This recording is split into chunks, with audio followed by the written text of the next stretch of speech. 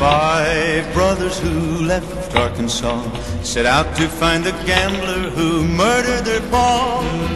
Five brothers and three in their teens gotta find the man who killed their pa in New Orleans.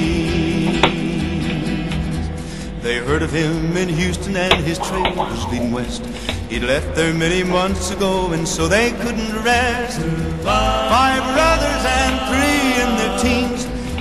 Find the man who killed their pa in New Orleans. Oh, well.